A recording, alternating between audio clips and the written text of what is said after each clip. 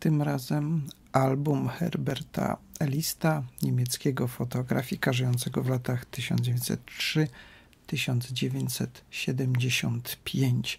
Najpierw Herbert List studiował literaturę, potem podróżował po Ameryce Południowej, gdzie zainteresował się fotografią. I ta książka to przekrój przez jego najważniejsze cykle, jak tu na spisie treści widać, jest ich kilka.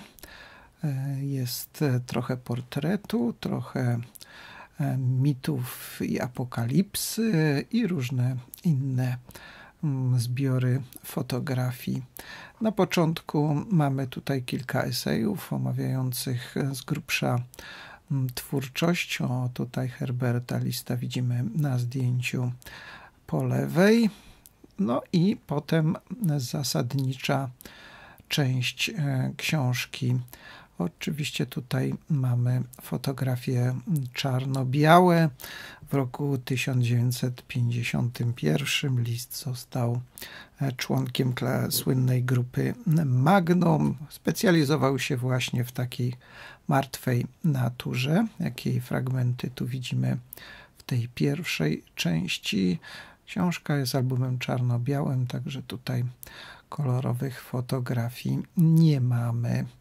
Bardzo taki eklektyczny styl prezentuje Herbert List. Oczywiście E, różne mm, cykle posiadają różne sposoby wizualizacji jego pomysłów. E, tutaj jest część mm, właśnie poświęcona męskim aktom. E, dalej mamy trochę rzeźby. Mm, Herbert List nie miał jakiegoś takiego stylu, moim zdaniem, który by był od razu rozpoznawalny.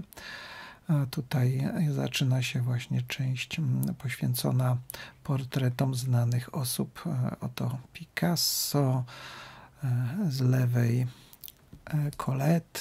No, cała masa twórców z lat 50., 40., 50. i 60., którzy się w kulturze światowej odznaczyli, a więc był to w swoim czasie jeden z czołowych fotografików, także gwiazdy filmu, z tego co tutaj widać muzyki, no pełen przekrój. Jego portrety nie są jakieś sztampowe, jak w jakiś e, sposób totalnie odkrywczy też nie prezentują postaci, ale mają swój jakiś taki urok i z przyjemnością jego zdjęcia się ogląda i na pewno z przyjemnością się będzie do nich nieraz wracało. Moim zdaniem bardzo ciekawa fotograficzna osobowość, godna szerszej popularyzacji. Dziękuję za uwagę.